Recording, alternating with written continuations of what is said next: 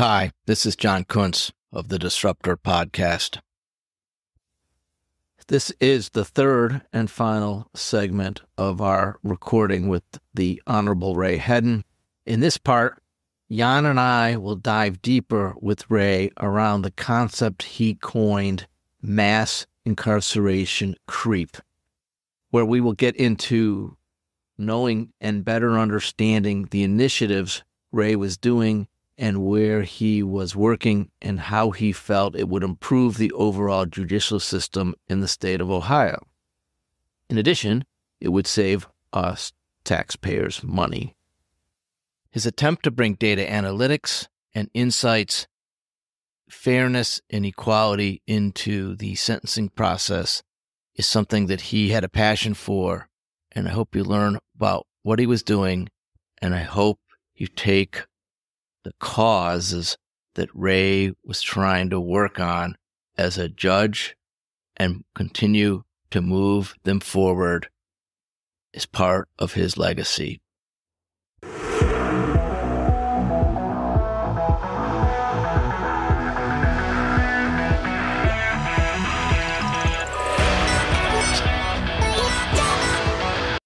Hey, hey, Ray, I want to move on to a, a, concept that you brought up as, as, as part of the prep.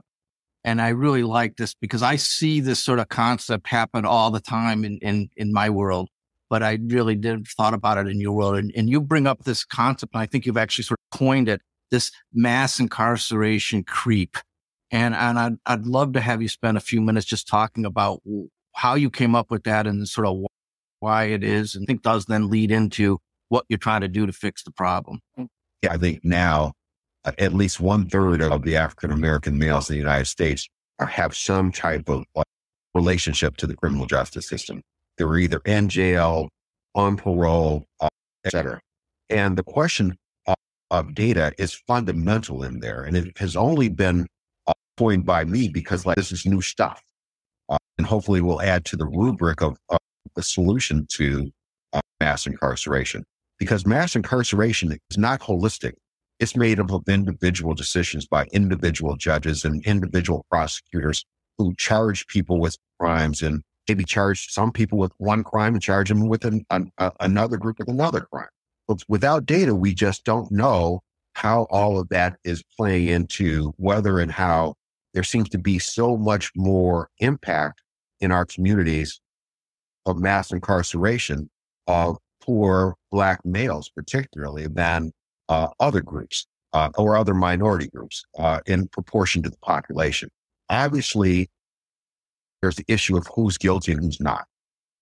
That is absolutely going to always be the case. And no, I am not, and no one else in, in this movement is trying to take away the discretion of judges to to uh, sentence as they plead, because like that is why they're elected that is their job. So they are uh, bound by our canons of ethics and by our duty as judges to sentence people to prison. So fact, I'm totally against that.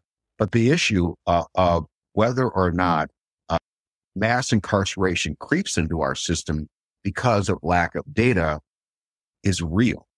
If somebody commits the same crime and gets two years, and another person who's African American or whatever gets 10 years, that extra eight years, that's where the mass incarceration is. That's what I call the creep into the system of mass incarceration. It's the individual differences due to the lack of data that sometimes judges just don't know. The prosecutors just don't know. The defense counsel just doesn't know because like all of those people can use data to influence whether or not there is like disparate treatment uh, and inequality in the system. And so that's what I'm hoping to have this database uh, do uh, is to take the lead on mass incarceration creep, stopping it and liking this part of the rubric at universities and other places where I haven't seen it yet. It's interesting point because you, I think you, one point I want to jump on or highlight it. It may not be intentional right? These are good people trying to do good things. But I think you're saying, and, the three elements that I starting to see that can bubble up that your your initiative can solve is, is certainly fairness amongst everybody. And it could be fairness across geographies or fairness across uh, social economic, uh, or just race in general. But there's a huge taxpayer implication, right? We all pay taxes in the state of Ohio. If I can't use data to make good decisions, I probably am spending more money than I need to. And there's just the impression and probably the reality that there's racial inequality mm. throughout the system. Right. We don't have the data. So how do we really know? And literally, John, mass incarceration creep is expensive. It's because if we don't have the data, it's about $20,000 a year to imprison someone. That's the cost of a college education. Beyond that, there's cost to society and to human beings. When somebody over here gets for the same crime three or five years, uh, hopefully not talking about nonviolent offenses, uh, drugs, and a lot of it relates to consecutive sentences and who gets consecutive sentences and who doesn't. And so all of those kind of uh, measures lead to stretches of sentences that might be uh, uh, in need of research, data. and it's not necessarily whether they're guilty or innocent. It's really more about the data to make sure that the process is truly fair. If we're talking about the differences between uh, the sentences. Again, no one's trying to say that judges can't sentence uh, with uh, their own discretion. But if they don't have the data, maybe that creep is like unintentional, as you said. So everybody that has ever heard of Lean Six Sigma ever knows about the Swiss cheese effect, right? Where you have a whole bunch of pieces of Swiss cheese lined up in a row. And although they all have holes in them, if the holes are misaligned, that issues and processes won't be able to fall through the Swiss cheese. But those holes align and then get things can pass through the gaps. And without data, you can't really figure out whether or not the holes are aligned or they're not aligned or if it's just happenstance. Look at the business world, right? And we have real time tools that are able to monitor down to user click rate when it comes to how they're interacting with a site in real time. I mean, if you can use that data ethically, then it, it really blows things wide open. I mean, you are able to garnish insights. Oh, you put out something the data comes back. The data is what it is, and you gather insights from said data. That your job is not to manipulate it. Your job is to interpret that and to make sure that this is where it's sitting. This is how it is.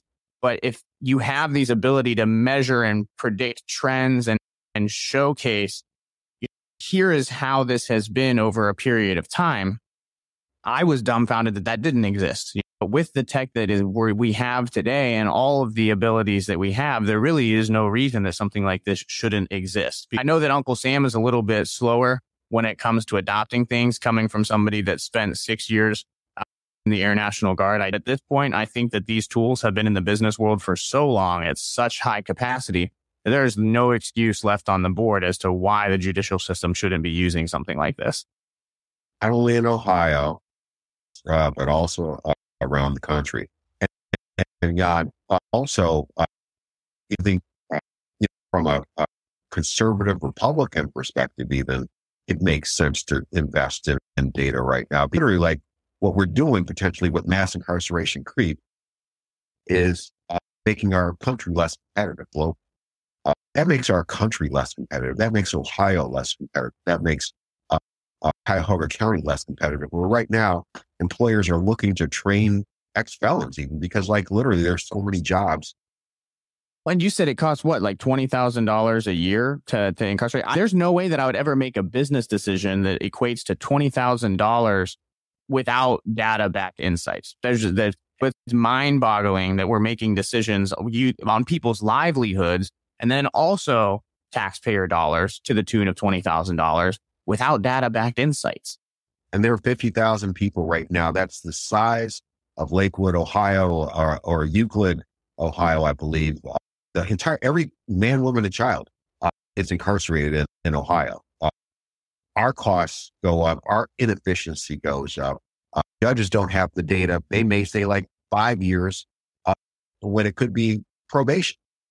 If most of the judges are doing probation in your county and you've just given somebody five years, you made up, like you said, a hundred thousand dollar decision that like literally doesn't ne- always measure up because we don't have the data.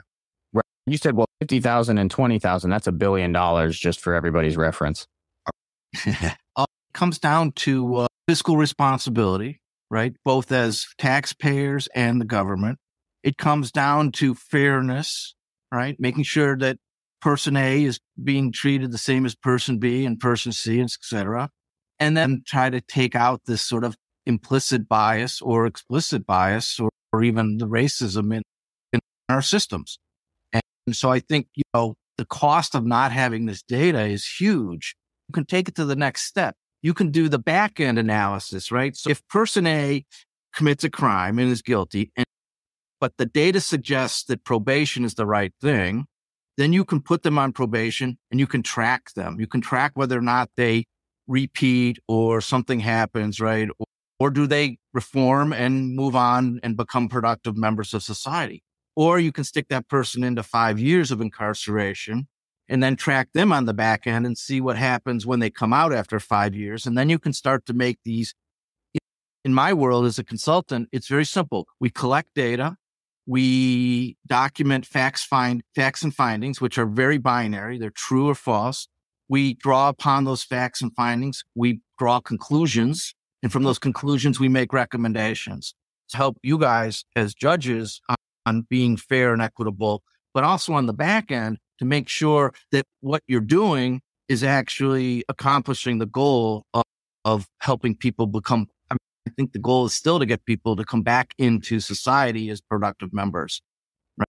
And, and I think you make a great point on this isn't about guilty or not guilty, right? The, the, the justice system, I think, does a good job of determining whether or not you're guilty or not. It's what you do once you're determined to be guilty and how do you treat people fair and how do you have some fiscal responsibility to again you always follow the money in these situations unfortunately. But if we can be more fiscally responsible then we can spend that money on something that maybe can help others instead of incarcerating them we can send them back to school or give them some training or that's, yeah, John, to your point, that it costs $20,000 a year to incarcerate somebody what are the alternate costs, right? The alternatives, but that $20,000 a year, what if rather than um, imprisonment, you have like probationary period and then the, some of that money is allocated to an educational program or a trade program to help that person get a job or. Jan, that's a billion dollars a year. Oh, a year. Yeah. That's a billion dollars a year. Like I said, that's where the mass incurred. If it's eight people every year, collectively in Ohio, 50,000 people, at $20,000 a, person, uh, it's a billion dollars for every year of incarceration. So every time there's a decision made by a judge, and I think I'm one of the first judges who, who raised the issue of cost. A lot of it comes down to what we started to talk about at the beginning, uh, where maybe I approach problems differently as a result of being plucked out of the inner city uh, of Cleveland 50 years ago Mm. And now uh, being in a position where I can state things uh, with a level of, of, of authority uh, because I have gone to the best schools in the United States of America and maybe look at things and say things uh, that are uh, you know, reflective of the diversity of, of, where I come from, both from the inner city as well as from uh, you know, Shaker Heights in Ohio, which are very wealthy places. I think this is a perfect time. And we're talking about financial responsibility right now. But the, the other part that I'm extremely interested about you touching on, Ray, is the social effect, the social costs of mass incarceration. So why, why don't we talk a little bit about the social costs? I know the billion dollars is a big number and, you know, catches everybody's eyes, but what I up this way. When me and John talk about empathetic connection and, and understanding where somebody is coming from, that, that's what I'm really feeling uh, right now is, is what is those social costs that come with mass incarceration? No doubt about it. And I think that's kind of like the unique perspective of, of, of me coming from uh, Cleveland and the inner city and, and kind of knowing uh, where people are. Uh, and so when you look at like families, for example, in inner city areas, uh, there's decimation because black males are incarcerated. Literally, families are, you know, everyone talks about the uh, welfare queens. But you know, how can you have uh, families uh, when men aren't there? Uh, they're incarcerated for whatever reason. Uh, we're trying to you know, make it easy for for criminals. But what we want to be able to do is make our system fair. And hopefully, if our system is fair, then what the other thing that's a real problem right now in 2020 is the lack of confidence and faith in our uh, judicial system. And you have mothers seeing their children go into the criminal justice system as soon as they become teenagers. You get like, a decimation of, of, of communities that are already at the place where uh, they're in danger of, of breaking the fabric of, of middle class values and uh, or never even achieve that. And that's what I was taught years ago when there were middle class values and you know, hard work, the whole nine yards. What I'm afraid of uh, and what needs to be addressed from a disruptive standpoint right now uh, is that the, the differences in uh, those who are uh, economically integrated, socially integrated, who have the same values as everybody else, that there is a disruption that needs to occur right there because so many people, and I walk in my own community all the time, are without that. And you see it in the nature of where you know, people were surprised by uh, violence and the riots and things of that nature surrounding really something that, and when you think about it in a, in a way, uh, our justice system missed it. I mean, the claim of, of, of places where uh, there was unnecessary violence by police was something that had not necessarily been addressed. And the violence occurred was reflective of the social places where people were, where the lack of, of being able to have a voice, as well as the uh, ability to have people listen uh, to uh, that voice, is something that we need to really address and is beginning to be addressed in the uh, in the 2020s area, uh, hopefully uh, without the violence anymore. Obviously, that was not the way to go, but people shouldn't be surprised though, uh, because what I'm really trying to do as a judge is to make sure that stuff uh, is addressed fairly and equally, and people need to hear that we're caring and that we're concerned, and that if there's a problem, we want to have the data to address it. There was a lot of a lot of pent up demand, I think, that, that again shook up the snow globe, which it was not pleasant, but it was probably necessary. We've had this great discussion, Ray, and you've brought up uh, some really great points just about how long it's been around and, and some of the, the, the problems that you're trying to fix and how do you disrupt this sort of status quo within the judicial system.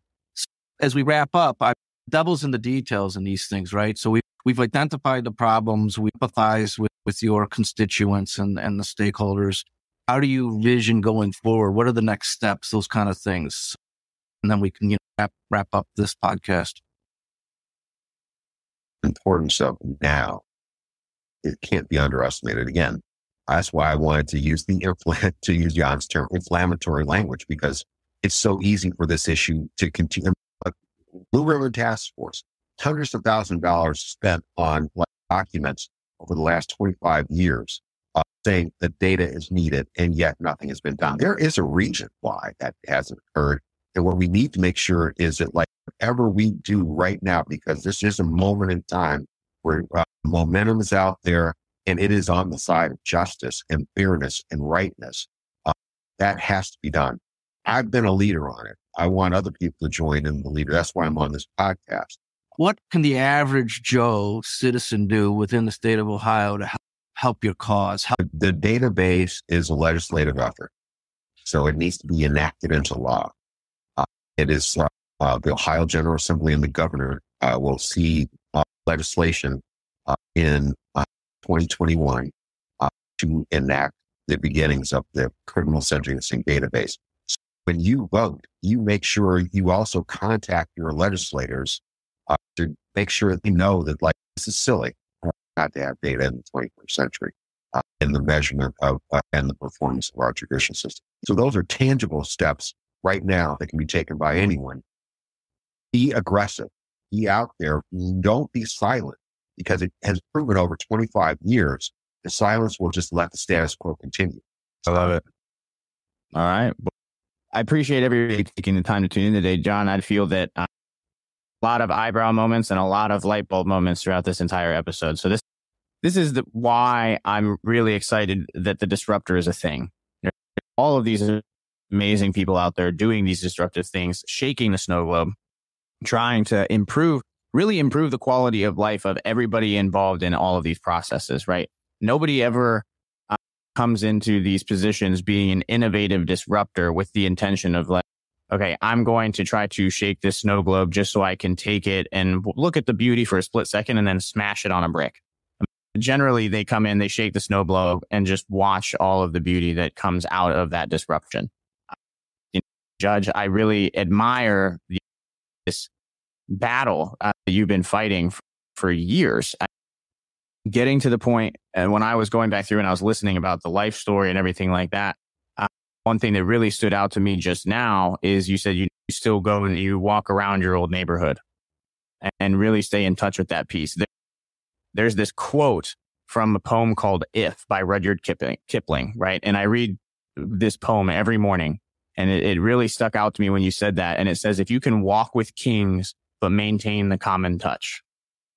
And the entire poem is about how you can really become a man and stand on your own two feet and, and live your life with character and live your life with integrity and with values, that statement right there solidifies Ivy League schools, the ability to be a great you know, person in law, uh, being appointed to a judicial seat, but walking with kings and maintaining the common touch. There's no other reason that you want to vote for Ray uh, outside of any of those other reasons let it be because he has not lost that common touch. And I think that that is extremely important when it comes to somebody sitting in that seat. Bless you. Thank you. Yeah. John, I'll let you wrap up.